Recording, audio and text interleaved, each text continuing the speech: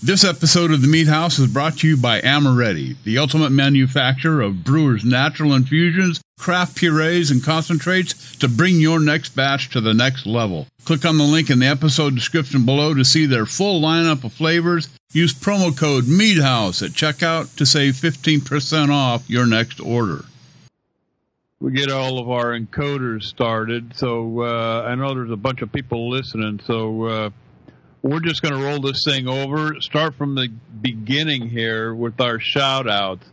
Uh, and uh, one is going to go out to Tim Hawley. Uh, Tim Hawley uh, was going to try to get him on the show tonight, guys, but uh, apparently couldn't uh, couldn't make it. But um, he's got he's got what sounds like a braggot going, a DIPA inspired uh, looks like something along a IPA, pale ale, lager, uh, and he used uh, three quarters of a pound of hops, uh, apparently Centennial and Cascade, and he uh, quick carb this at 25 pounds, shaking it until it wouldn't push any more CO2 into the keg, and then he hooked it up and. And uh, uh, he got it going pretty good here. So he's got it at eight pounds uh, per square inch, and let it sit for about a half a day. He says, and uh, it turned out excellent. So uh, wish uh, wish I could get a taste of that. But uh, Tim Hawley, uh, good job on uh, what sounds like a pretty good uh, braggot going there. Another shout out, Tim Witt, wine and mead making enthusiast Facebook group. Uh, this is, uh, I guess he uh, updated uh, his uh, post. Uh, he's got one of these conical fast fermenter uh, uh, containers. And if you've seen these, it looks like a big teardrop. And they've got stands for them that you can, you know, floor mounted thing that holds it up, or pretty unique, uh, you know, system. You can even buy these racks that uh, you mount on the wall, and these things just kind of hang there. But the unique thing about these uh, conical uh, fast fermenter uh, fermenters is they have this bulb thing on the bottom that collects all of your spent yeast and trub and and and sediment and, and whatnot, so that you don't have to rack. So uh, once you start, you go all the way through primary into secondary, and uh, you know, uh, I guess the only time you'd really rack, I don't know if you can bottle from these things or not, but I suppose you could.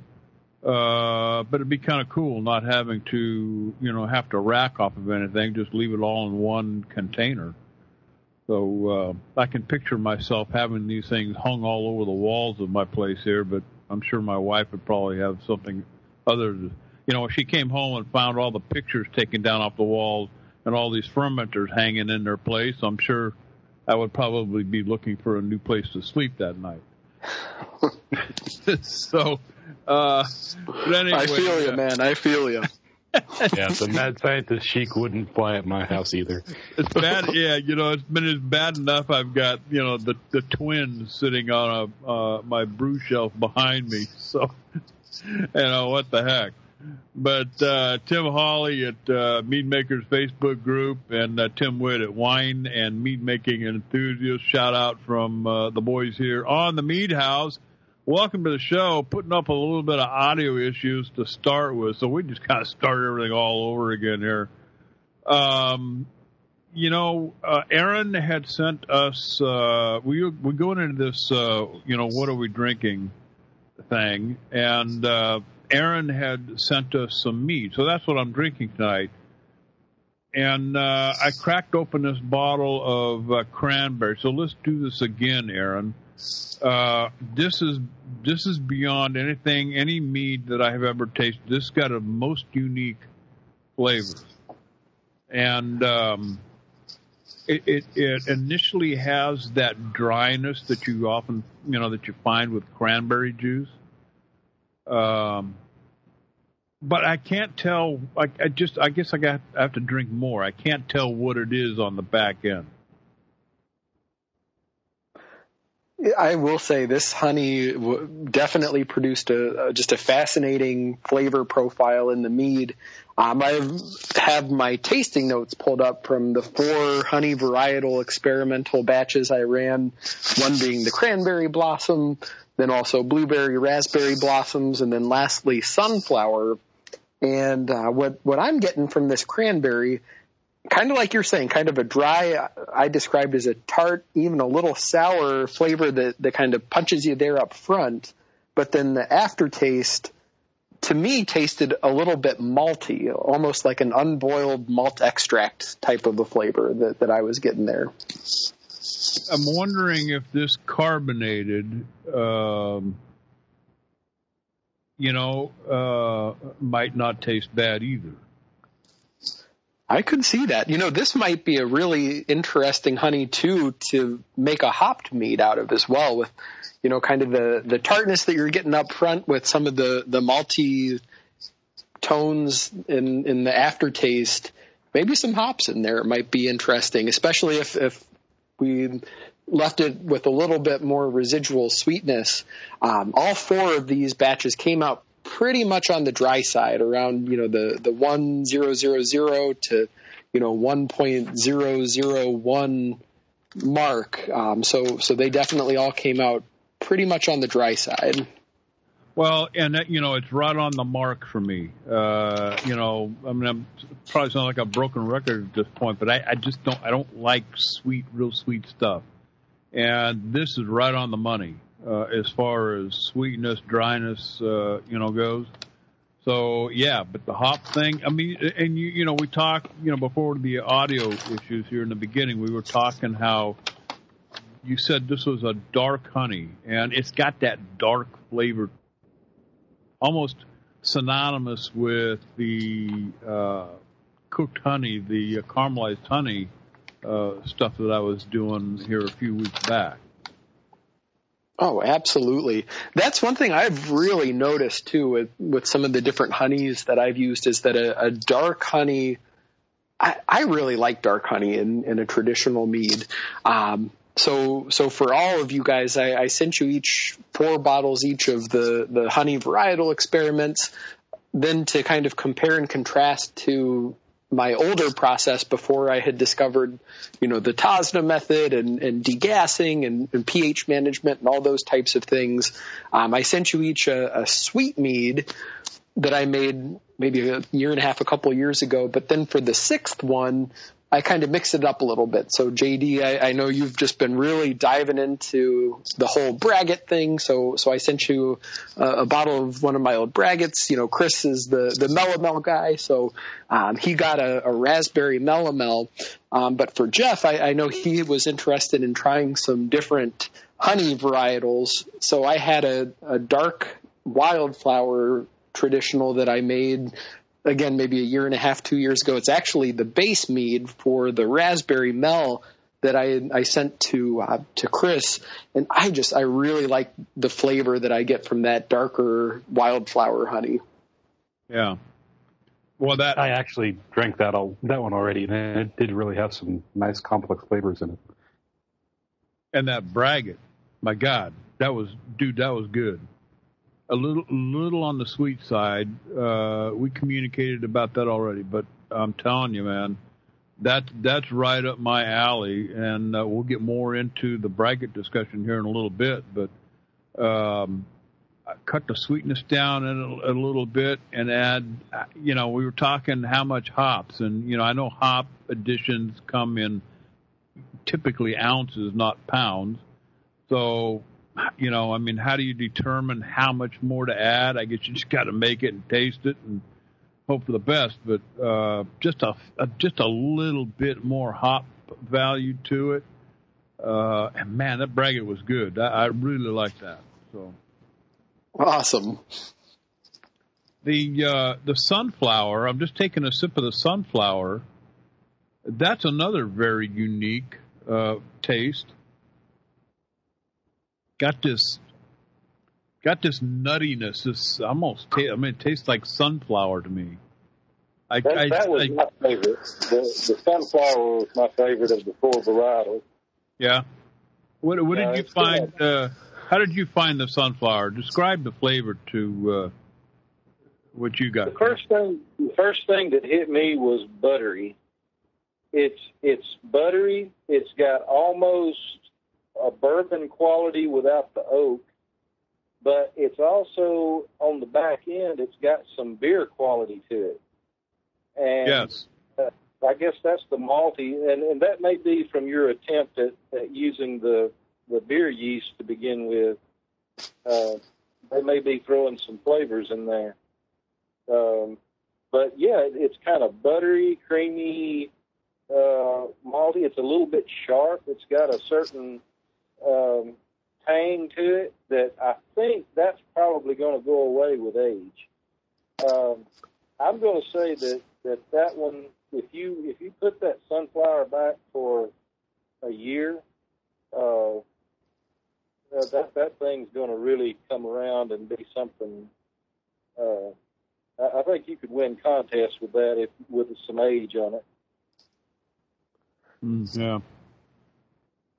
Mm. Yeah, it's just so interesting to hear the flavors that you guys are getting off of that. I this is one the sunflower that I've noticed quite a change in from when it first came out of primary to kind of where it's at now, or even a, a couple few weeks ago. Last time I, I sampled some, when it first came out of the the carboy, I I was thinking I was getting some like apple juice and fruity flavors, and with some of the more recent samples, you use the word nutty and almost like that sunflower flavor, sunflower seed flavor, and and that's definitely where I'm seeing it go to is is kind of that nuttiness.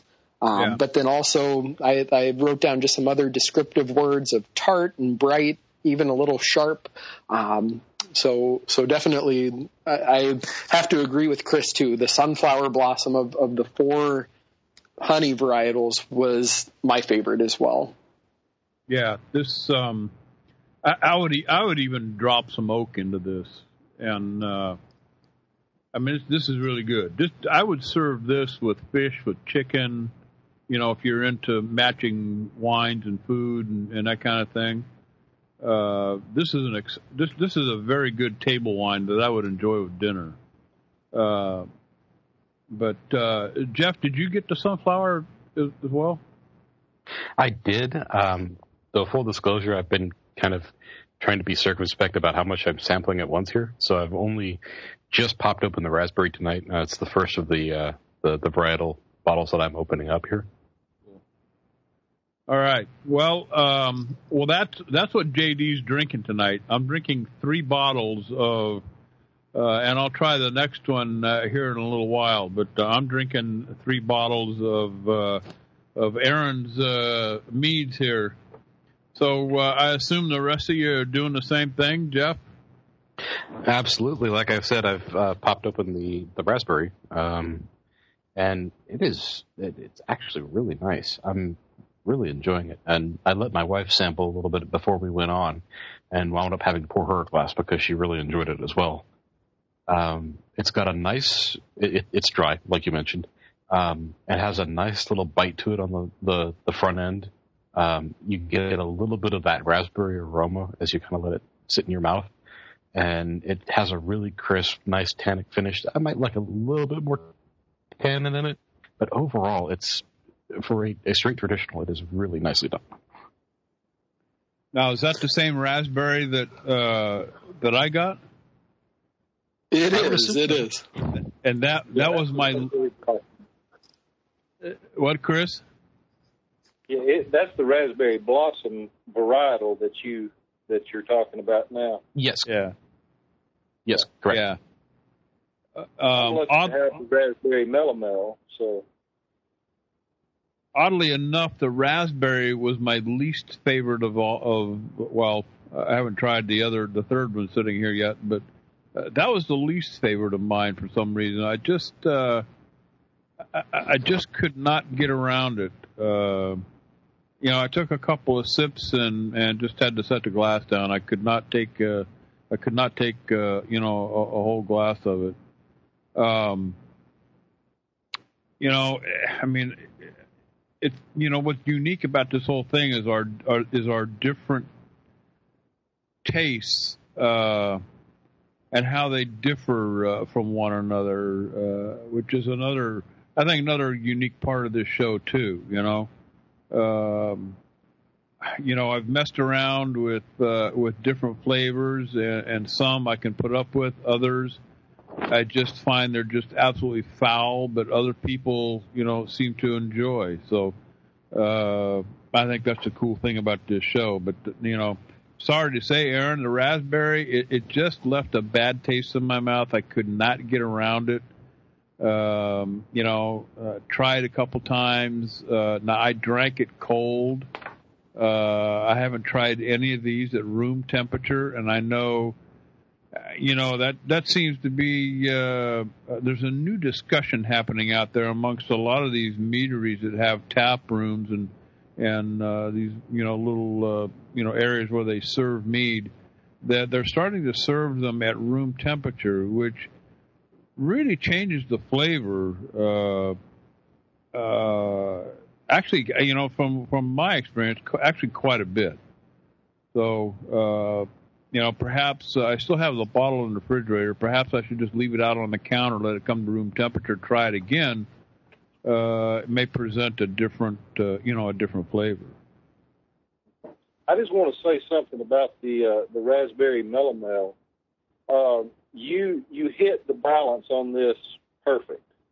Um, when I make a, a raspberry or or any other melomel for that matter, you all know that I like the fruit bombs. I go all the way. I. I pack it with fruit. This one is not packed with fruit, but it's also on the drier side, which works perfect. I mean, it, you know, it's it's not a very strong raspberry flavor, but the raspberry is definitely there, and and the sweetness level is perfect to balance where the raspberry is at. Um, if you had put any more raspberry in it, you would have needed a lot more sweetness. Uh, but you nailed this one perfectly on the on the balance there.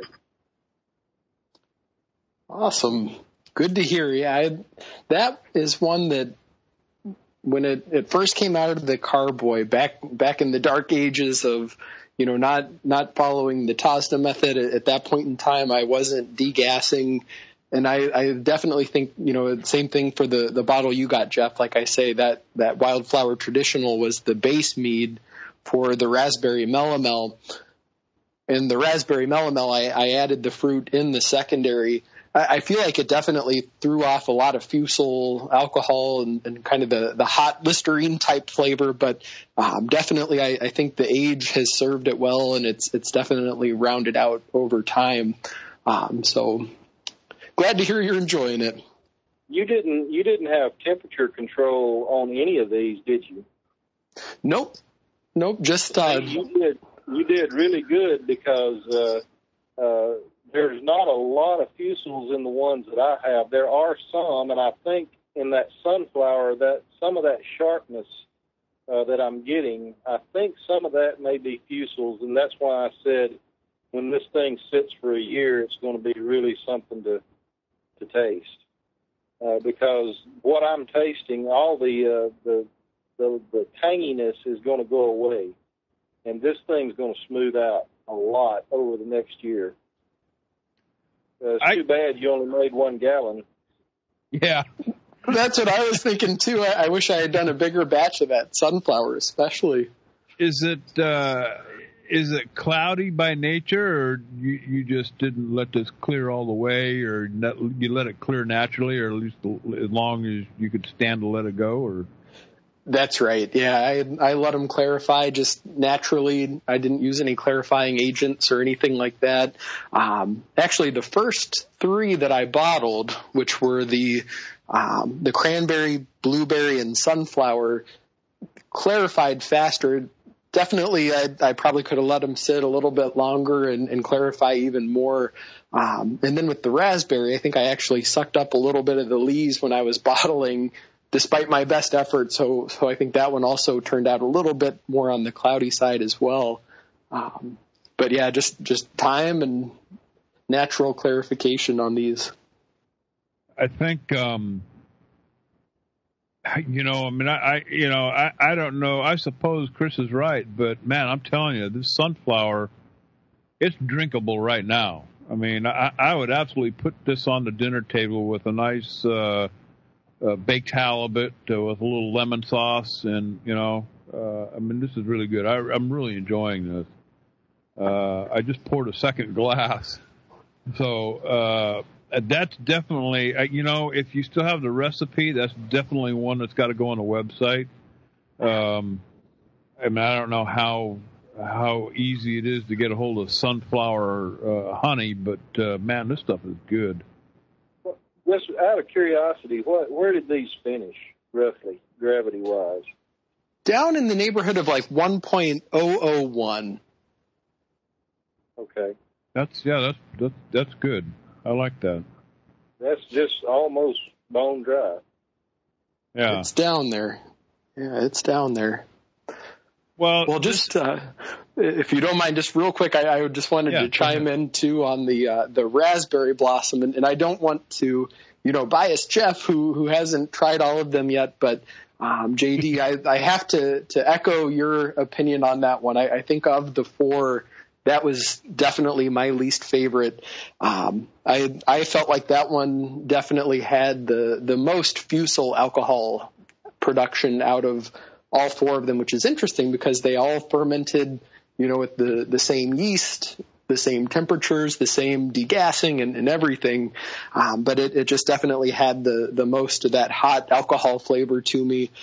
There were some interesting things going in there. I, I felt like it, it had a nice crispness and, and tartness to it.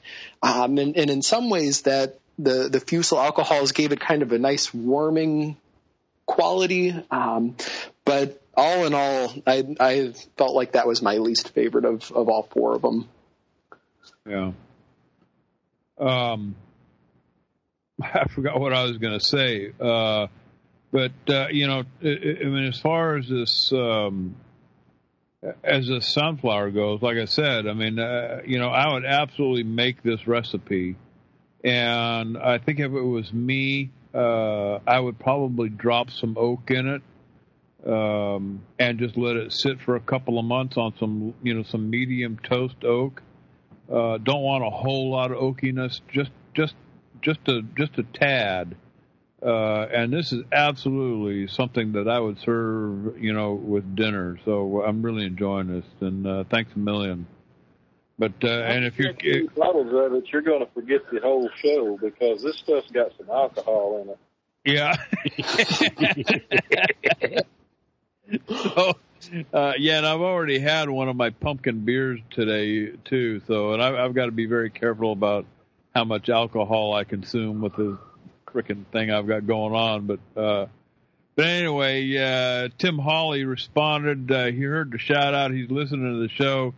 Uh, you bet, Tim. And hey, if you go to uh, themeadhouse.com, click on the contact us tab up there and uh, you can send us an email, and uh, we'd be glad to take your recipes in and take a look at them, and uh, put them up on the website, and uh, credit you for the for the uh, recipe. So uh, just go to themeadhouse.com and click on contact us and get in touch with us. But um, so you know, we we wanted to continue talking about and I think I have found my. Uh, I think I have found the direction I want to go with mead, uh, and that's in the in in the Braggot area. I think it's unexplored territory. If I can, you know, uh, go back to the Star Trek days. Uh, you know, I, I think there's a whole world out there that hasn't been explored yet in in in the name of Braggot's and I I can see all kinds of things happening out there. I got to go back to this Braggot that Aaron had sent me. That is absolutely right up my alley, dude. I mean, if it wasn't for the sweetness and it could stand to be a little bit more hoppy, uh, that's absolutely something that I would carry around in a six pack and hand out to you know friends and relatives.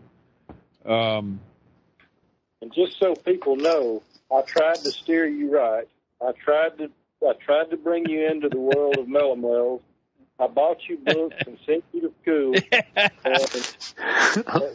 and we lost you to the braggot world. So, well, I, you know, I'm a.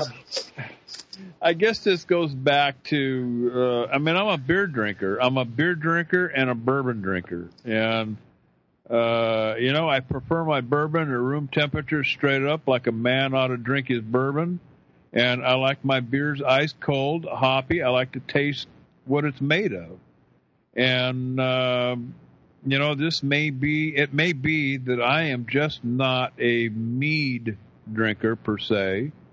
Uh, you know, and that's not because I've had a lot of failures. I mean, I got some pretty good stuff going on here, but uh, some of some of the store bought more popular brands that are out there that I've had, I've just, I just, you know, it's a, it's not even a casual. I mean, it's not refrigerator and say, "Oh, I'm thirsty. Let's pour a glass of mead."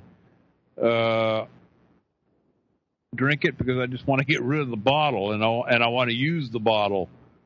Uh, you know, nothing that I can get excited about, but this braggot thing that we're exploring is right up my alley. And, uh, uh, I, you know, I, I, have to say that I, I, did not complete my homework assignment. Sorry, guys. So take me in the corner and beat me to a pulp. Um, but as we talked on the last show, uh, we were supposed to go out and kind of explore different recipes and and hop values and what they contribute to flavors and that kind of thing. I still don't know enough about hops to know the difference between one hop or another. Um, I am uh, I am considering one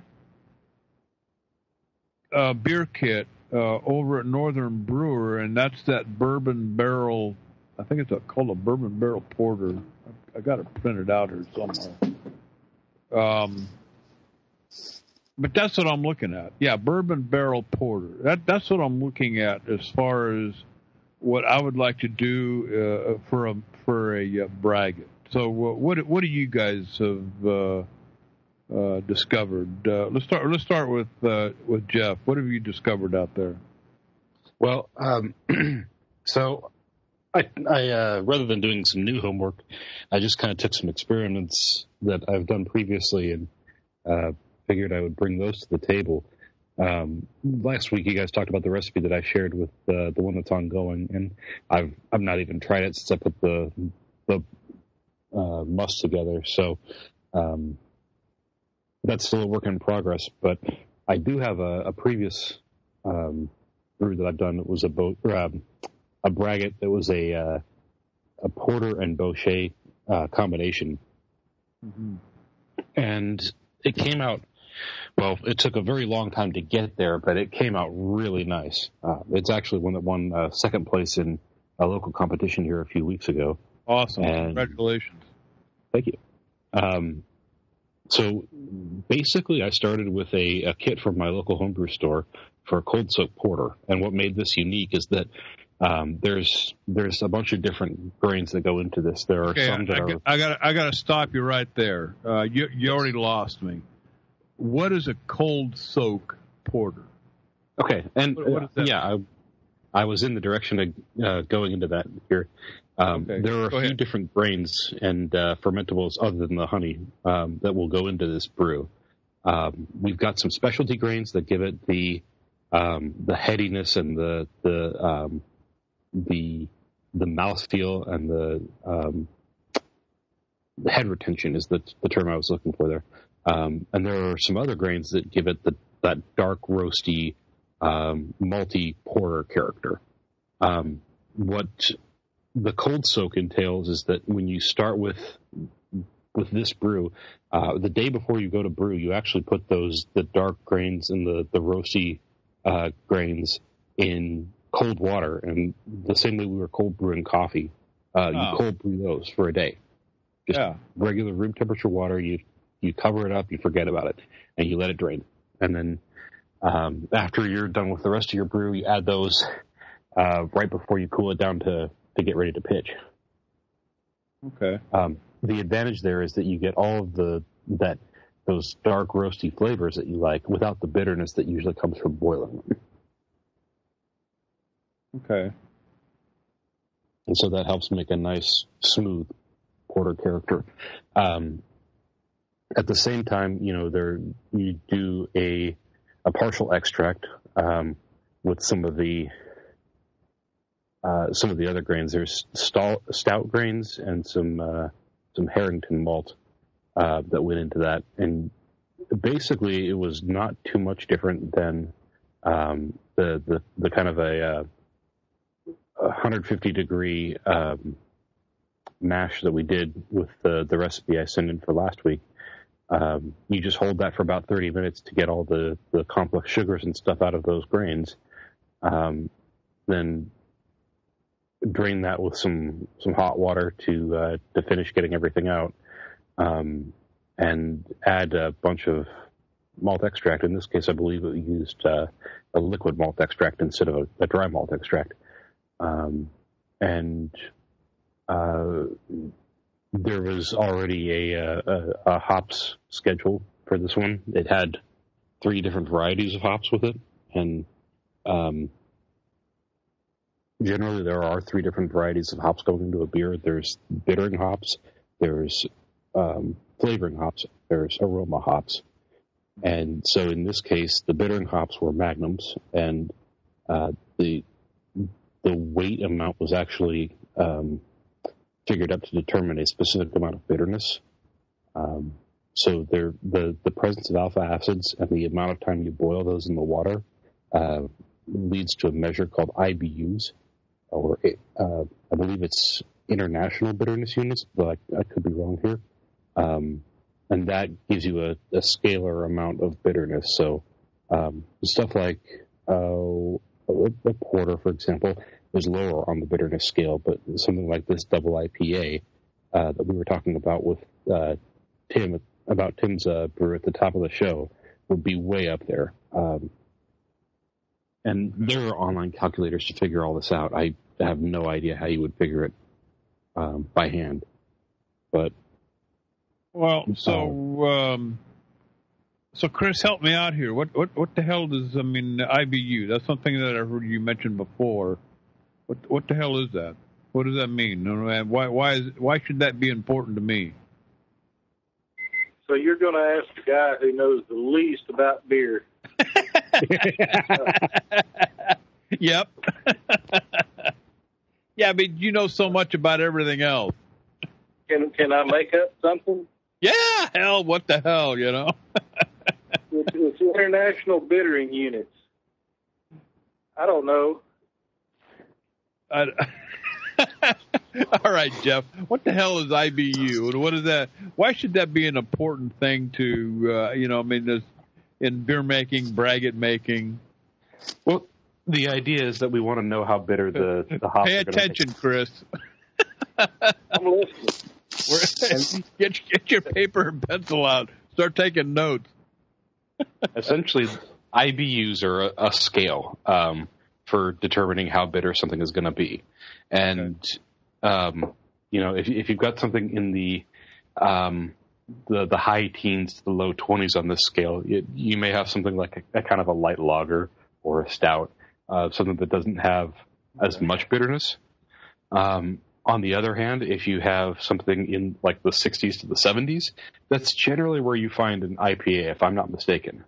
Yeah. Um, and I've seen some IPAs or the, the double IPAs or just the really aggressive IPAs that'll go into the 90 to 120 range.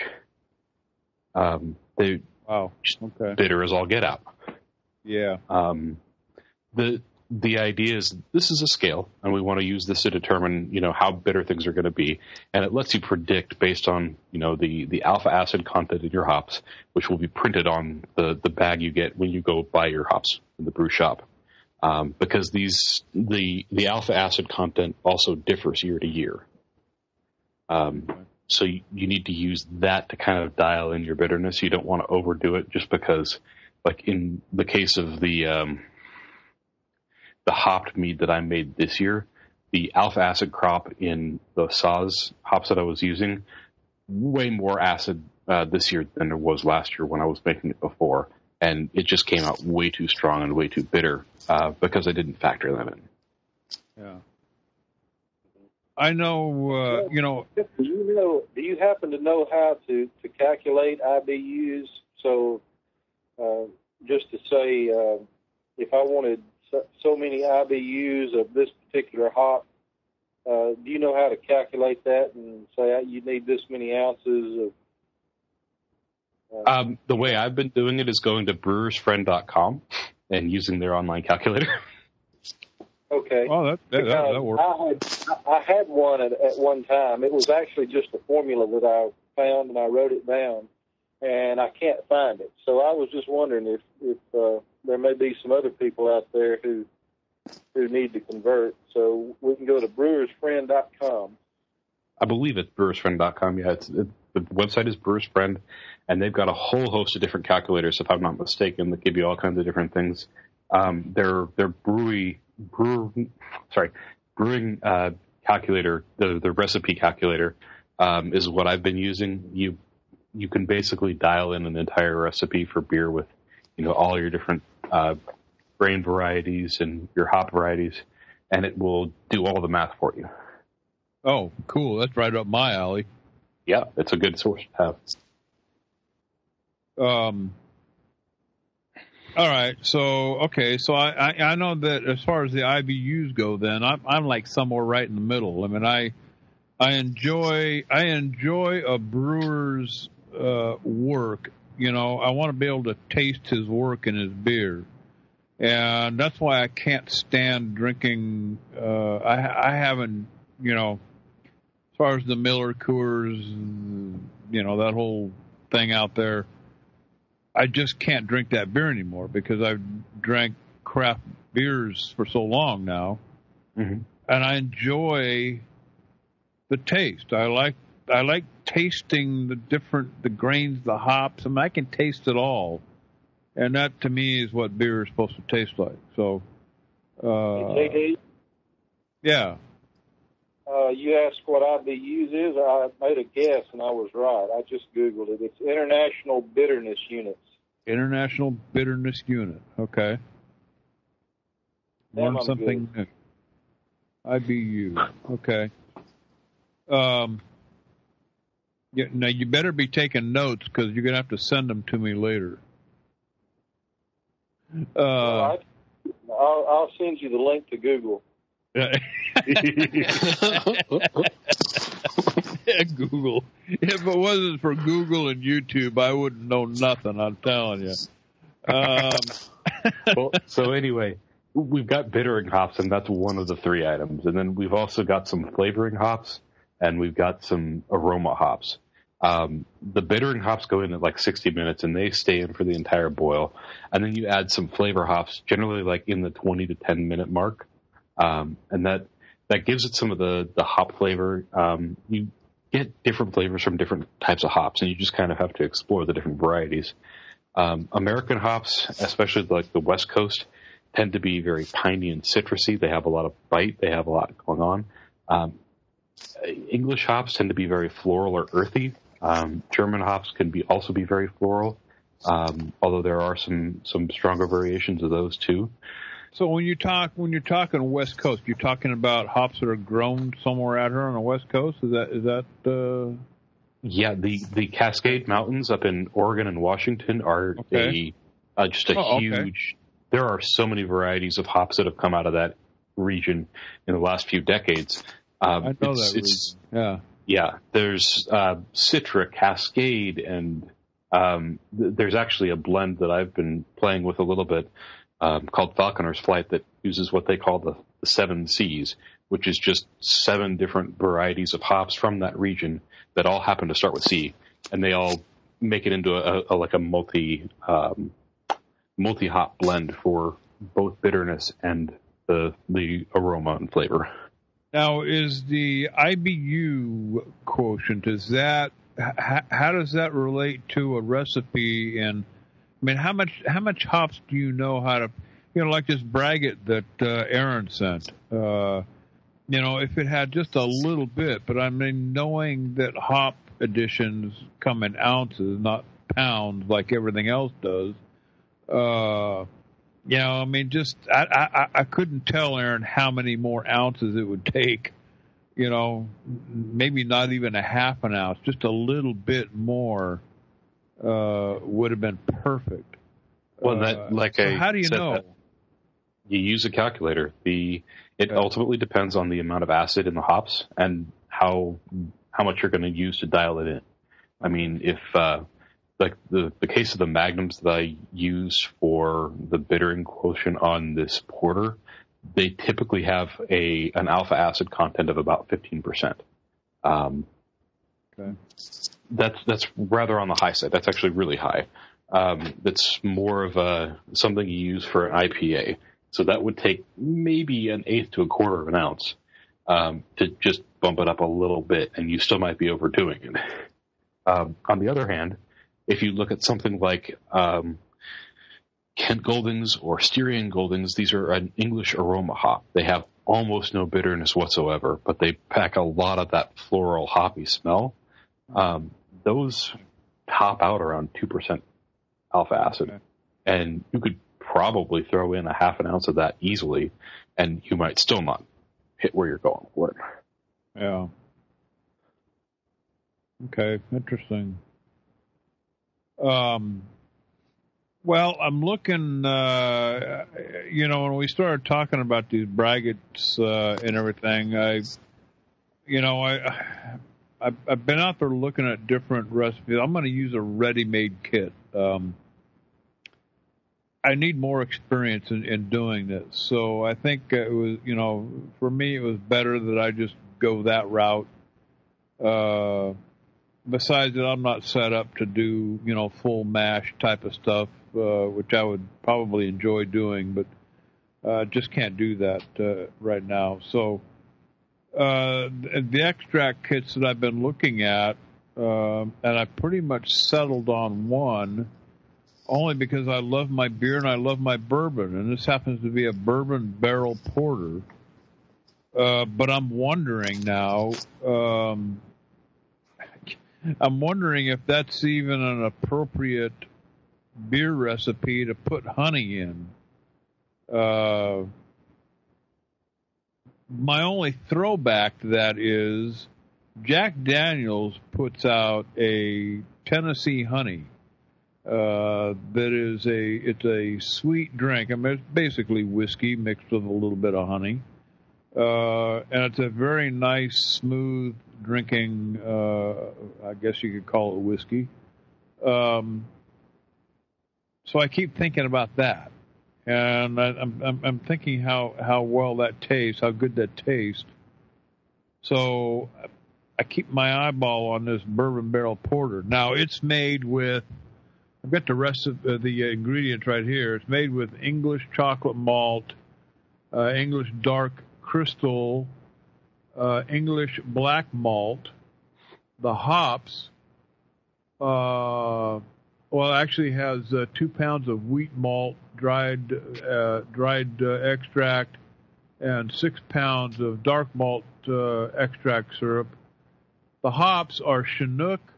You know, this will probably mean more to you and Aaron and maybe Chris than, than it does to me, but uh, it uses Chinook hops, Golding, Goldlings, Goldings, I guess that is, uh, for the hops. Yep.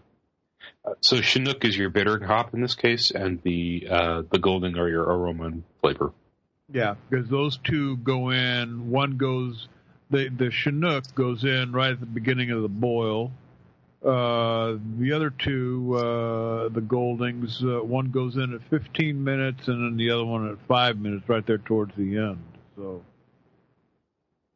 and then uh, you know the end result is you put three ounces of uh, American medium toast oak that have been soaked in 16 ounces of bourbon, and you toss that entire the entire stuff in. So you put 16 ounces of bourbon with your oak cubes, and so I'm gonna dump, uh, you know, I'm gonna dump, you know, a couple of pounds of honey on top of that.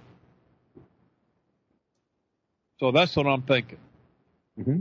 So, uh, you know, uh, as far as you guys, I mean, let's go to Chris. Uh, have you been looking at any recipes, anything out there that you want to try? Yeah, uh, I've I've got it down to two. I'm almost certain I'm going to rehash the the Irish red ale. Okay. Uh, the uh, the other one that I was looking at was your second choice, which was the, the chocolate milk uh, stout. Right. And uh, you know, it's really a toss up. Yeah. I like that chocolate. Uh, I mean, I could do either one of these. Uh, that chocolate milk stout looked uh, pretty interesting to me, but I, I'm so I'm so leaning more towards this bourbon barrel thing, uh, and that's probably the direction that I'm going to go. Aaron, have you have you looked at recipes or anything strike your fancy that uh, you want to try as far as to braggot or uh, something you've already done that you want to improve on? You know, I I, think I, I like the base recipe that I used for this braggot that that I sent to you. Um, uh, I think if I am or if I do at some point in the future put together another braggot, I, I really want to go in the direction of like a black IPA or like a, a real hopped up porter type of a style.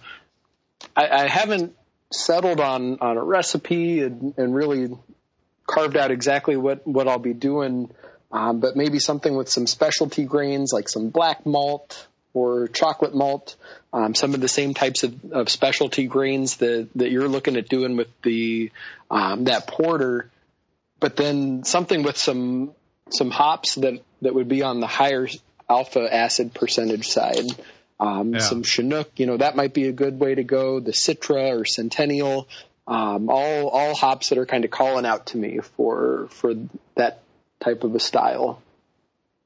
Yeah, well, uh, this uh, this Irish red ale that I'm looking at, it's the extract kit with specialty grains, and uh, what I was planning on doing is actually uh, changing up the hops because uh, um, just take out the ones that are in the kit, and I was going to replace them with the ones that I used before which was uh, Chinook, Eroica, and uh, the, the East uh, Kent Goldings.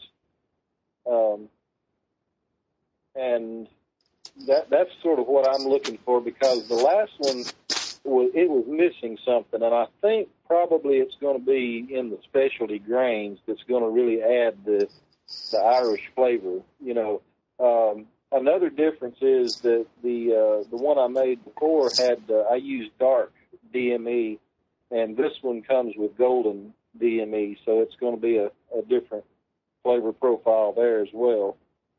Um, so I'm, I, you know, I really want to do that chocolate milk stout, but uh, I don't know. There's something I, I, I really think this this red ale needs a needs to be done a little bit better than I did before.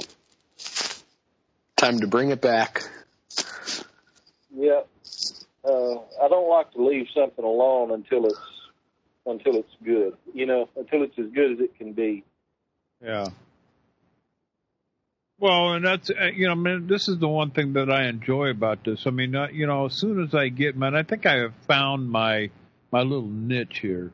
You know, um, Jeff and I were having a discussion, you know, before we launched the show tonight, uh, you know, about doing braggots, and I told him that you know, I, out of all the meads that I've had, I'm, I'm, I'm finding that I just might not be that mead guy.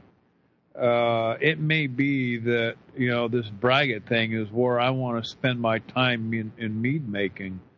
Uh, forget the style. Um, I, you know, I'm not. I, I, as much as it is a style of mead, that really doesn't concern me what does concern me is putting out a good product. And if it's called a braggot and if it's the mead catalog, then that, then that's fine. But uh, you know, I have to go back to that. I mean, the only other braggot that I ever had was the one that Aaron sent me, and that just put that that just put it that just put it all to bed for me.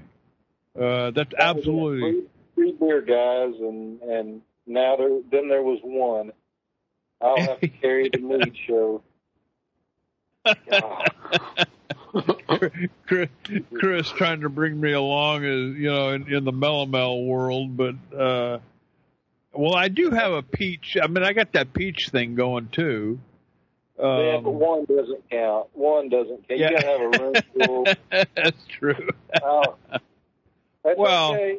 Okay. I'll, I'll carry the show, and uh, Yeah, so, so, so you guys come back around. I'll Yeah. I'll keep persevering. I'll be here. Yeah. Yeah. I out, just, go uh, out explore the world, and and I'll be waiting when you get back. God, somebody send him a box of Kleenex, please. Let Uh, me get let me get my crystal.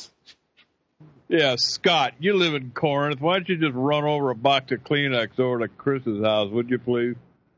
Uh, beer. oh my God. So, but anyway, so so yeah, so I'm I'm thinking I'm thinking this bright. You know, this is like this is like unexplored territory. It's like Star Trek. You know, uh, man, I can Yeah. see so much. And really, part of the reason it is so unexplored is because commercial mead makers have a, an awful time trying to, to do anything with it. Um, in this varies, of course, state by state, but in Kansas, if you want to do um, mead, and uh, and so you, if you want to do a braggot, you basically have to have a winery license and a brewery license and then you have to have a tape line on the floor, and all the wine stuff has to happen in one area, and all the beer stuff has to happen in another area, and God forbid you try to ferment the two together. Oh yeah, yeah, yeah. I mean, I, I've I've heard. I hope you make a, a good, I mean, an absolutely fabulous braggot and enter it in a contest and win. This would this would just top it all off. If you got a blue ribbon on it, I want a picture of it, and I hope it says I hope it says Paps on it.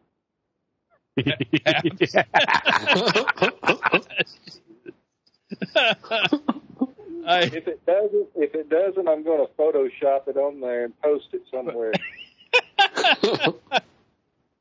oh my God, I'm never gonna. You know, Chris has got my damn phone number too. Isn't that a, isn't that something? Anyway, so yeah, so uh, well, you know, it, it is a mead, Chris. I mean, for crying out loud, you know. Uh, it does. It is a category of mead, so I'm just just doesn't have any fruit in it. I'm going to have to get over it, I guess. yeah, yeah. Uh, I'll get it. Hey, I'm making one with you, so I'm I'm I'm not There you out of go. the loop. Well, I mean, uh, you know, and I know you're, you're not much of a beer drinker, right? I mean, I think I think we've had that discussion before, but I mean, it's still mead. Uh,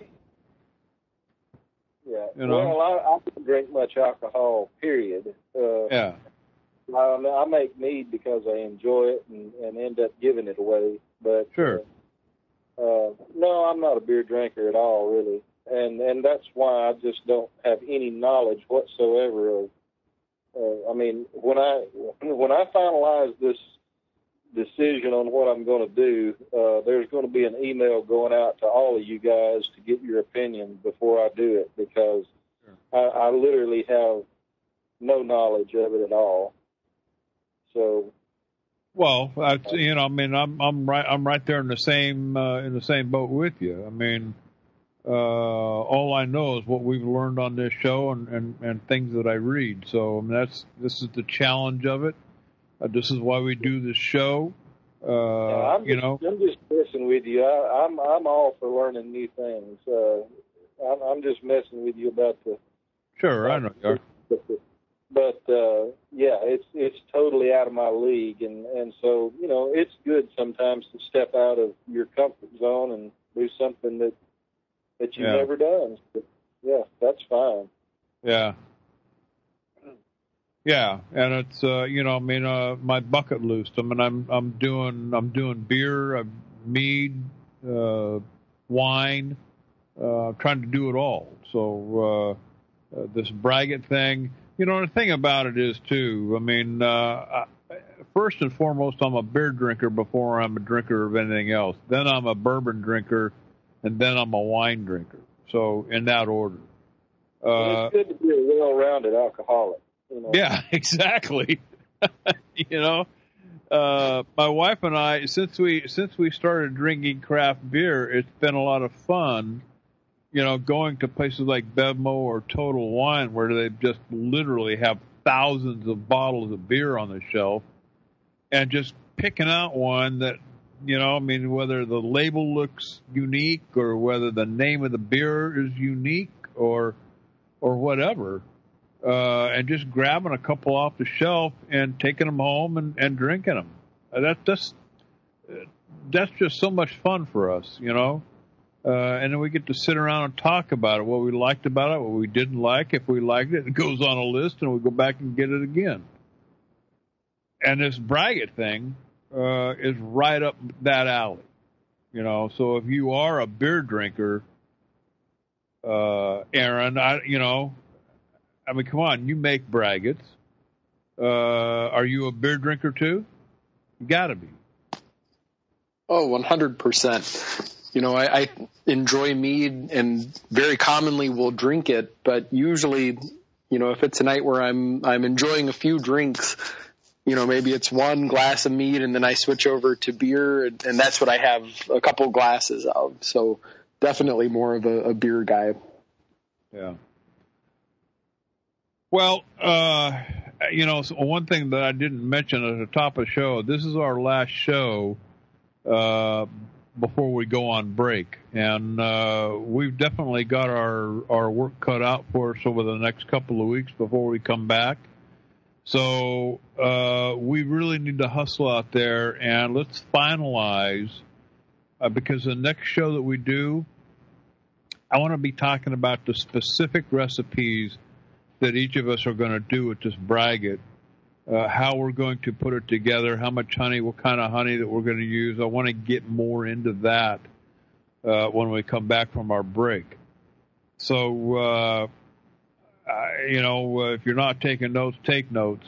Uh, you know, I, I think this is going to be a good thing. I mean, we've explored melomels uh, a little bit on the show. We did the traditional thing to start with. You know, branching off into this braggot thing, uh, I think is a cool thing. Um, you know, and I don't know where to go from here. So, Jeff, I mean, you know, you're kind of you're kind of the braggot king around here too. So, uh, you know, what, tell tell me what's on your mind as far as braggots go. You know, um, this this saison that I put together is the first time that I've done a braggot that is not uh, based on a beer kit. Um, and it's it's still very simple. It is still very kit like in that it, it's mostly extract with a little bit of specialty grains for some head retention and some like mouthfeel body uh, additions. So um, I, I, I, have a lot to learn about beer myself. Um, I I definitely enjoy drinking it, but I would be lost uh, trying to put one together on my own. Um, I figured out a lot more about hops than I have beer itself. Um, mainly because I like what hops does to mead as well. Yeah, yeah. Well, that's something that I need to learn too. Uh, I, I, I mean, I like what hops do to beer. Uh, I like what it did to Aaron's braggot. And so, yeah, I'm right there with you. Uh, I yeah. need to know more about hops and what they contribute, uh, you know, as far as flavors, aromas, that kind of thing. So, I, I mean, and where do you go to get that? I mean, the only source, uh, you know, and like in mead, I mean, uh, uh, I mean, you know, if you're into mead making, there's really only one source out there, and that's gotmead.com. Uh, as Chris well knows, I, I have spent literally days sitting here at my computer. I've gone to every mead resource out there, and there's really nothing better than the Got Mead because it's so full of people who have been doing it for many, many years. Uh, and are, are, are excellent resources. Beer, on the other hand, the only place that I know of to really get good information is out at homebrewtalk.com. Uh, that seems to be the the premier uh, forum uh, as far as your beer making, and they cover the full gamut, whether you're doing partial mash or full mash or extract or, or whatever it is. So, mm-hmm. and I, and I haven't found anywhere else really. Uh, there just isn't any place else. Well, if you're looking you on, go ahead, Aaron. Oh no, I was just going to say, you know, I, I think um, one thing I, I might bring up here, if you're looking for a good book to read on beer, kind of the equivalent of Ken Schramm's The Complete Mead Maker, that I would definitely recommend on the beer side is Charlie Papazian's The Complete Joy of Home Brewing. Um, this was the the first book I really got into on on home brewing. There's there's a little bit of the book, a portion on mead as well. Um, but just a, a, really well put together book. It, it's a fun read. His his style is, you know, he's he's um, kind of light-hearted, and but at the same time, you you learn a lot with the the book. So definitely worthwhile. Got it. Yep. Uh, and I just I just haven't cracked the uh, the cover on it yet, but uh, absolutely. So awesome. It is. You're it you're in for a treat. Um, I, I like that he goes through a lot of different techniques with it, and he generally has a recipe for every technique that he's he's talking about too. So that if you follow along and you really want to get into brewing beer and just brew a lot of beer, um, you can try all these different recipes yourself and kind of pick and choose what techniques you like. Um, you're going to be making a lot of beer in the process, but you know you, have got that option available to you if you're interested. Have um, you got uh, Have you got that one, Chris? Um, yeah, somewhere. I, I can't find my complete mead maker. Uh, I, I've got to find it because I'm starting to panic without it. Yeah, I was gonna say that's like that's like losing your Bible, isn't it? I mean, if you're a Baptist and lose your Bible, man, you're up you're up a creek, aren't you? yeah, yeah, I guess. I'm not a Baptist. But, wow. uh, All right. Yeah. Yeah, I mean, I, I got to find it. I've, I've turned everything upside down, and I don't know what I did with it, but uh, uh, somebody needs to start some kind of a fundraiser or something for me to get another one. Go fund me. Let's get a GoFundMe going for Chris to replace it. We gotta, yeah, send me some Paxil or something too. In yeah. the meantime. Uh, all right. Well, uh, enough about the uh, talk. Uh, like I said, uh, this is our last show before we go on hiatus. We take a two week break. Uh, for those of you who are just listening for the first time and will listen to the replay, we're going to take a two week break. We do six shows and then we're off a couple of weeks, kind of rethink, do, you know, take a breather, catch up and then uh, we come back and do six more. So in our break time, uh, we're going to explore a little more deeply this whole Braggot thing, and I, for one, need to know more about hops and and what they contribute. So that's going to be my uh, my little homework assignment. So when we do come back, let's try to have our individual recipes down pat. We know exactly what we're going to do, how we're going to approach it and uh, we'll talk about it uh, on the air. If anybody else uh, uh, wants to do it along with us, if I can get if I can get the three of these guys, the two of these guys, uh, three of these guys to send me their recipes before we come back, we'll put them up on the website so that you can actually see what each of us are doing, what we're talking about, what ingredients we're going to be using. And, uh, you know, we'll just call it just Braggot, Aaron's Braggot, uh, so on and so forth. So, um, speaking of the website, uh, when we come back from break, uh, we probably need to touch quickly on uh, the the cherry project we've got going. Also, yeah, uh, that should be clearing now pretty well, and uh, it's going to be getting close to time to start tasting it and considering any adjustments we need to make. So, yeah. we'll we'll touch on that too. Absolutely. Um, and that's a couple of projects that we've got uh, under our belt so far. We did the traditional, the orange blossom uh, special, and now the cherry mead. So uh, um, and both of those recipes are up on the website, themeadhouse.com. Uh, guys, I'm about ready to start another big DIY project. And that's something that I love doing and, and I like sharing on the show. We've got, uh, I know that there's at least two people out there already. Actually, if you include Chris, uh, there's actually, I know of uh, three people out there who have uh, begun to explore their own uh, temperature control uh, environment based off of the system that I put together. I think that's a cool thing, and you know, feel free to modify it however it suits you.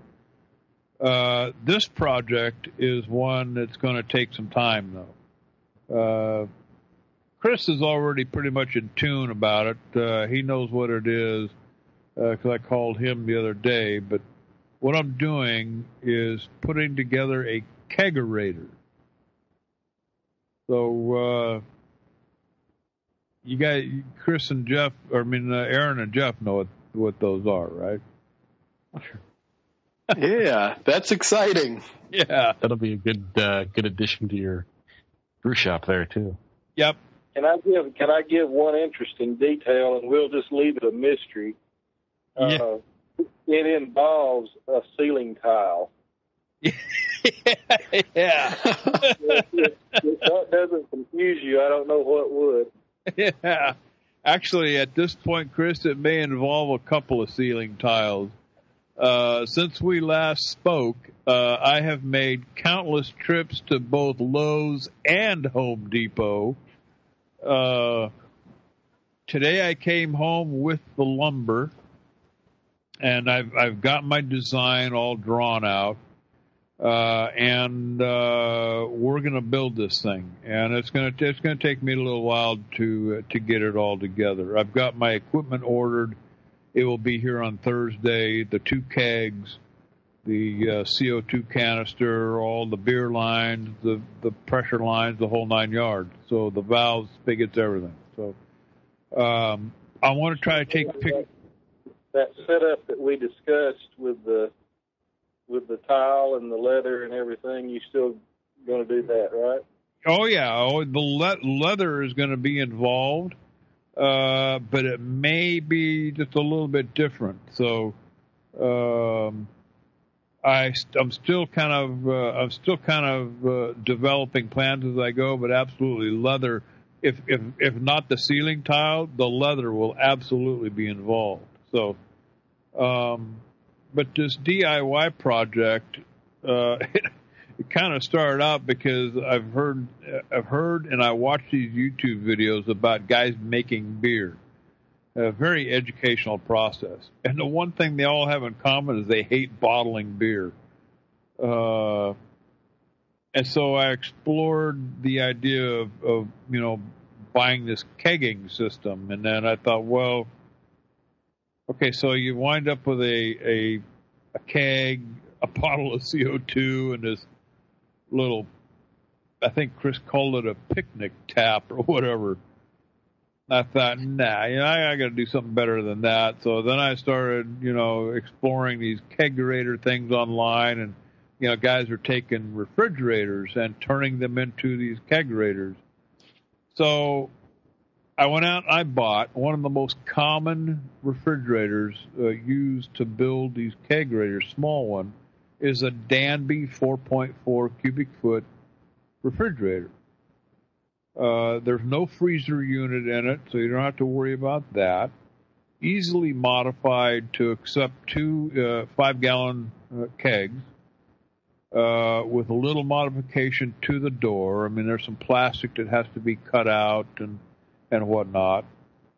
Uh, and uh, the uh, the equipment that I chose, tip, you know, typically a lot of these uh, conversion kits you see, they're, they're these tower things. They come with these chrome or stainless steel tower with a couple of spigots on it, or even a single. Uh, I decided to go full custom and went to a uh, a regular what they call a door mount and uh, uh, the design is going to be kind of a Western uh, motif uh, with some of uh, Chris's leather work uh, and uh, most likely a, bra- a, a copper ceiling tile as part of the decking for the for the counter. So. Uh, but anyway, so I'm going to try to take pictures along the way uh, when we start working on this thing. So you know, we can create some kind of a journal. I'll have updates uh, on the, you know, on the shows that we do. Uh, but so that that's my next big uh, DIY project. So what do you think? I like the sounds of it. yeah, I, uh, I like that you're putting a lot of thought and a lot of personalization into it too. Yeah. The, the, thought when I started hearing about the ceiling tiles, I was thinking when JD does it, he does it big. yeah. If you can imagine a kegerator that involves a ceiling tile, and actually this ceiling tile is a very important part of this whole setup. So, yeah. uh, you know, that's that's going to be very unique. Yeah, and I, you know, I had the, between Lowe's and Home Depot, I had the opportunity to actually see these ceiling tiles.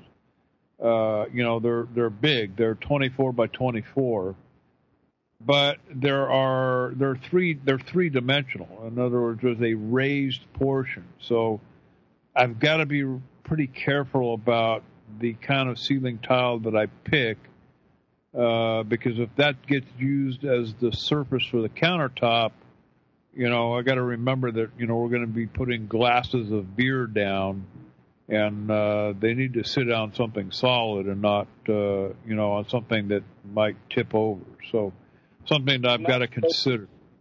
You might be able to find something like a hammered copper that's just got a little texture to it or something. That's yeah, that's flat that's what I'm looking for. Um, these ceiling tiles come in in different material, and I've looked at the tin and the copper. The problem that I may have with copper, uh, and I need to explore this a little bit more. I don't know if it's treated or not, or you know has some kind of a coating on it. But the problem that uh, you know always happens with copper when it gets wet, it corrodes, and you get this ugly green. Uh, uh, you know, stuff all over it. So well, that's uh, that's part of the patina. But if you don't want that, you can always get some a can of, uh, you know, like some clear acrylic or something to yeah. to spray it with. Well, I, I, have considered that, and then also uh, I think it was uh, now now I'm Boy, this is the part where you really don't want to get old. Uh, I've been to Home Depot and Lowe's so many times, I can't even remember what I saw at each place. But one of them uh, has these ceiling tiles that are actually made of a PVC plastic, and you you put a metal one, to, you know, side by side with one of these plastic ones, and you can't tell the difference.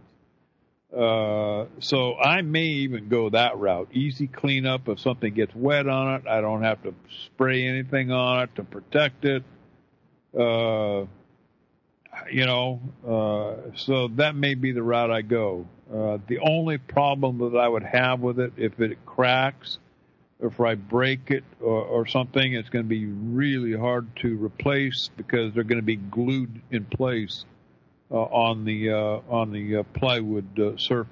So I've just got to be careful with that. So, but that's even if I use the ceiling tiles on the surface. I may put them as on the side of the uh, box because I'm building a I'm building a box basically that's going to hold the refrigerator. And then you drill a two inch hole, actually, to, uh, yeah, two and a half inch hole on top of the refrigerator.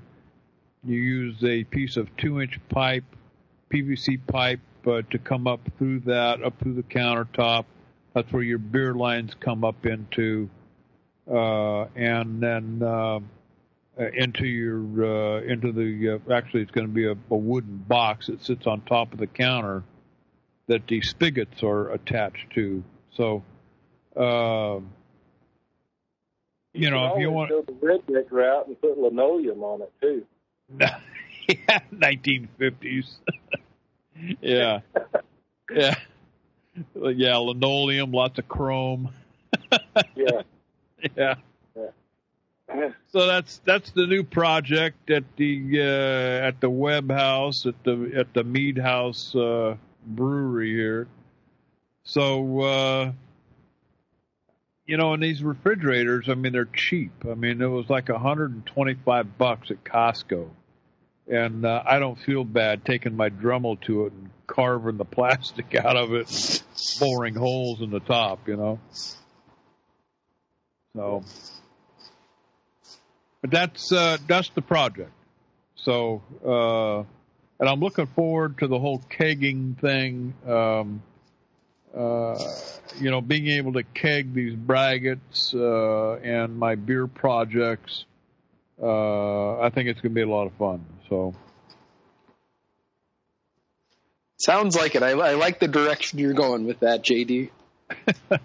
so, but uh, at any rate, has anybody else got uh, projects working? Well, let's just go through the hopper list and whatever you're working on. Let's start with Chris. Uh, I know Chris has been busy, uh, uh, you know, here lately, but uh, anything uh, in the works, Chris? Well, I did get that sourwood traditional started because I had to try out that Yeti. Uh, good Yeah. God, I can't believe I spent that much. uh, but Yeah. you might be interested to know, uh, and I hope this doesn't make you jealous. Uh, I'm approaching day six, and I haven't put any more ice in it yet. Attaboy. There you go, baby. You, hey, you know what? uh, I don't know what your what, what your ambient temperature's like there where you've got the Yeti. Oh, around 68. Oh, dude, Uh, you should be you should be eight eight or nine days into it. Uh, how many pumps are you running at one time? I, I've just got the one going right now, but uh, what I did, I took uh, three containers. Uh, each one held two quarts of water, and I froze those three containers. And I've still got, well, I mean, there's they're hardly any smaller than they were six days later. So, Yeah. uh, you know, And they're, just, they're still, Just enough water to cover the pumps, right? Yep, just enough. And Yep. uh, so uh, you know, I'm I haven't I've lost maybe twenty percent of the of the ice in six Right. days. Yeah. So, uh, yeah, it's good to go. There's this this batch is going to finish out completely, and I doubt I have to put any more in. Yeah, you're not you're not going to be changing ice until like November. Yeah, it may be good for two batches. But I'm I'm running Awesome. the I'm running the thermostat at, at 62 degrees. So. uh yeah. so I'm keeping it down and uh, you know ambient temperature around 68. So it's not having to come on that often because everything is insulated so well. Um, Well, Uh, yeah. you know, we, we, we, we talk about these coolers. I mean, I spent, uh, you know, close to $300 for the cooler that I have, uh, the Pelican. And, uh, I know what a Yeti costs. It's damn close to that, if not more, especially the size that you got. Uh, and that's a huge investment for a do-it-yourself project. But the alternative is, is spending literally thousands of dollars on glycol units. Uh, and that, I, I just, I mean, as, as much as I could probably go out and buy one, I just, I had a hard time reckoning with myself that, you know, I'm going to go out and spend eleven, twelve hundred dollars on a glycol unit just to cool, you know, uh, my carboys and my, my fermenters. I just, just, I, I just could not get past that. yeah, and So- I just don't need. I mean, even uh, for, forget the Yeti and all that. I mean, you could get a Coleman cooler and put this thing together, Sure. and I mean, it's going to work fine. Uh, and put around it uh, a Coleman cooler, and uh, you know, it's just too easy. Yeah. Yeah, very much. So, uh, All right. So uh, the sourwood, you got the sourwood going. Uh, uh, anything else you got in the hopper? Not at the moment, but I'll be getting that Okay. beer kit in pretty soon, so Cool. that'll be the next thing. Jeff, uh, you got anything going on there? Well, yeah, we've talked about the uh, the saison that I'm working on, and so by the time we come back in a couple weeks, uh, we'll be into secondary with that, and I'll probably have a little bit better idea of what it's tasting like and what I want to do as far as you know spices or dry hopping or you know, extra stuff to uh, to help bring some of those flavors out. Yeah. Um, you know, beyond that, I'm still working on my refrigerator uh, chiller system. I've uh, I've cut into the the wall between the two uh, units because it's got a freezer and a, a refrigerator side by side, and for the most part, it's just foam. Um, I have discovered that there's not a lot of structure of stability um, on the, the the door side once I get the foam out of the way there. Um, Yeah. So I'm kind of carefully cutting that out and replacing it with a nice thick uh, piece of wood um, to, to kind of buttress that uh, the, the piece of metal that the door's closed to um, and keep everything in square there. Um, Okay. But uh, there's a little bit of mechanical stuff in the the far back um, part of that wall that I'm kind of carefully kind of chiseling out, if you will, Yeah. to make sure that it's nothing I'm, I'm going to miss. Uh, but it looks like I should be able to make one large fermentation chamber and maybe get, you know, 20 to 25 uh, gallons uh, worth of fermenters going at once, plus a, a big shelf up top for my one gallon. Yeah, there you go. uh, the um, this refrigerator you're working on, it's got a freezer unit and a uh, and a refrigeration unit. Or are they work, you know, w- working off the same compressor? They are working off the same compressor. I determined that the, uh, the essentially it's just taking a, a fan unit to blow cold air from the freezer into the refrigerator. Um, so I, I've got basically now that there's a giant hole between the two, I've got one giant freezer, um, and I've just Okay. got my uh, my temperature controller is going to work to that, um, and I've got a little ceramic heating unit that I'm going to put on the bottom to to give me a heat controller as well. Yeah. Yeah, perfect. Uh, you know, you've got that. Uh, you've got the same uh, stainless steel fermenter that I've got. If you, uh, I have to check on their website, but if you get the neoprene jacket that goes around the fermenter, it's an insulation jacket. Mhm. And you can order these. Uh, they're they're made for brewing. They're they're heaters that come on a mylar surface and they're very thin.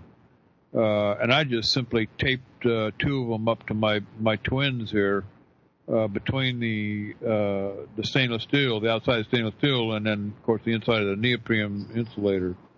Uh, and that serves as my heating unit. And I've come within a degree, one way or the other, uh, hot or cold. Uh, something you might want to consider. What's that, Chris? Uh, that's something I haven't done yet with mine. I haven't put the the heating element in, so I'm I'm running strictly on cooling right now, Yeah. um, which is not an issue in the summertime, but this winter it's probably going to become an issue. So I'm going to have to get that hooked up. Yeah, and you know, uh, you know, for the folks out there listening to the show talking about this DIY stuff, uh, a simple heat pad, heating pad uh, that you find at uh, uh, what uh, you know, Walgreens or or you know, you know, like I don't know, we used to call it thrifties, but uh, uh, you know, I mean, I'm sure everybody knows what I'm talking about. It's A regular heating pad you plug in, it's got a little little switch on it. Those work too. So uh, you got to be careful with them though, because a lot of them have a timer on them that automatically shut off. Don't recommend that you try to rewire it unless you're an electrician and bypass the timer. But uh, those do work as far as a heat source. Uh, You know, if you need to heat up a uh, a fermenter that uh, you know has got you know most of the part that's it's a stuck fermentation that you're dealing with. You need to apply some heat. A heating pad is a good way to go. So, Well, uh, I've discovered there's an advantage to the uh, using a refrigerator because it also holds in heat pretty well. Yeah. Um, I was fiddling with all the controls and stuff, and I took that offline. What I didn't realize is that I also disengaged the little uh, the closure tab that tells the the refrigerator whether or not it's open. Um, so that left the light bulb going for about a day and a half before I came back to look at it again, and it was boiling in there. Um, after only just having this one little, it must have been like a ten or fifteen watt little incandescent light bulb just to the light in the fridge. Um, but that heat just built and built and built. So, you know, I'm calling that proof of concept right there. Yeah. Yeah, you're on your way to a uh, to a nice little fermentation chamber there, I think, and uh, uh, we'll uh, you know keep track of what you're doing, and uh, you know other people if you're if you're you know creating some kind of a journal with your plans, what you're doing, and everything, or you know uh, write it all down so we can keep you know maybe even put it up on the website and let people know that hey, you know what, if you've got an old refrigerator, uh, make a fermentation chamber out of it. So.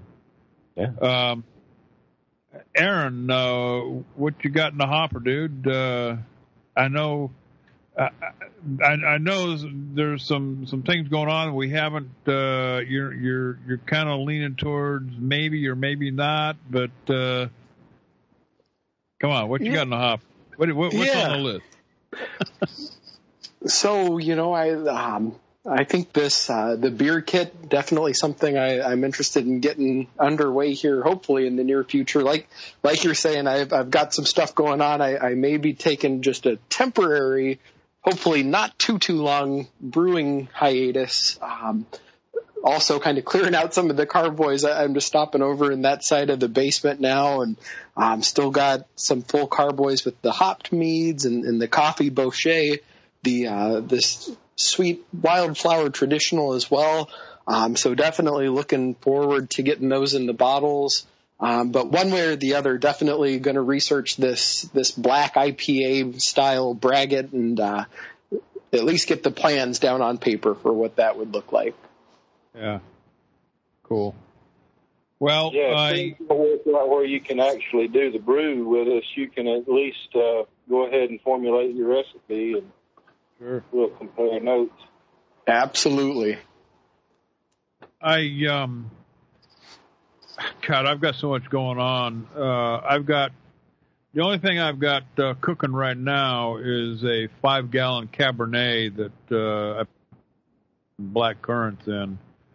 Uh, it's fermenting right now, so uh, I'm not going to do anything until uh, I get this other project uh, completed. I got enough stuff sitting back in corners of the room that are uh, under oak and and aging. Um, a couple of projects that I'm I'm really anxious about. Uh, one is that sourwood. My God, if you haven't done a sourwood traditional yet, dude, you got to do that. If you can get your hands on some sourwood honey out of Tennessee, the stuff is amazing.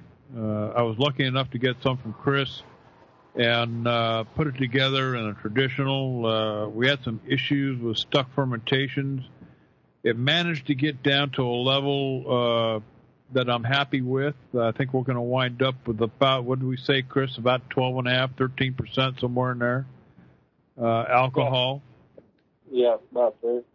Yeah, it's sitting on some Hungarian oak right now, and I've, I've been tasting it uh, about once a week, uh, and it's coming along nicely. I'm I'm really uh, I'm really thinking this one's gonna gonna turn out nice.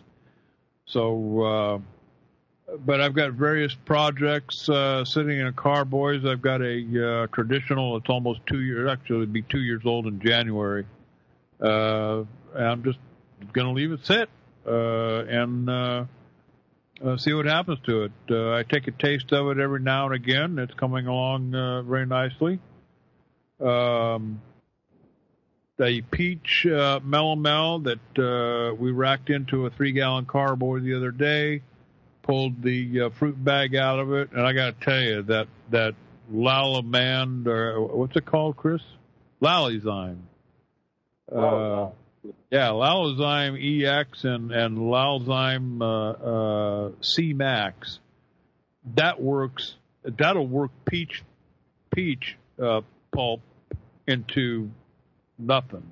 I mean, it'll turn it to liquid like you wouldn't believe. It's better. It's better than a food processor. Um, so the fruit came out of it. Uh, it's just sitting in a corner with, with under airlock and uh, finishing out in secondary, and we're just gonna let it ride. So uh, it's down to about uh, now. Uh, hoping it gets down to around twenty zero zero two. We started out at one twenty. Um, you know, and if it stops now, I'm happy with it. It tastes good. It's not sweet. Got definitely has a peach flavor to it. Uh, and that's uh, you know, uh, it's coming to a point where I really like it. So, but that's pretty much what uh, JD's got going on. Uh, other than this big project I'm, I'm going to be working on over the next few weeks uh, or longer. um, and I'll I'll see if I can take pictures. Uh, I'm going to try to document my process with this thing. You know, again, I mean, it, this is um, you know, use your imagination. I mean, just go out there, and Google, uh, you know, kegerator ideas. Just put that in your Google search, and you'll be surprised what you come up with. I looked at a lot. I mean, I spent a couple of days looking at tons and tons and tons of them and you'd be amazed what guys are doing with refrigerators, with uh, freezers, uh, with these little uh, mini fridges, uh, like I've got this little Danby. Uh, uh, and uh, you know, if you want to put yourself a kegerator together, uh, you know, uh, look into it. Um, but uh, that's what I'm doing. So other than that, uh, gosh, guys, we kind of run out of time, and I'm kind of getting hungry. About dinner time in your neck of the woods. About dinner time in my neck of the woods. So, uh, tell you what, we're going to take a couple of weeks off. Uh, apologize for the beginning of the show. We started out kind of raw. Uh, but once in a while, hey, you know what? We're on. A, we don't have a budget, uh, and uh, you know we do what we can do here. So, uh, but uh, thanks for uh, Jeff, Chris, and Aaron uh, being here tonight. Uh, and uh, Scott uh, certainly appreciate. it. I need to hire Scott as the engineer, and he's helped me out with the show here. He kept posting stuff to my my message on my phone thing about can't hear the show. So appreciate you keeping me informed there, Scott. But until next time, couple of weeks uh, back here on Tuesday night, check the website, themeadhouse.com. Facebook is simply the Mead House uh, for all the information about the show. We'll see you then.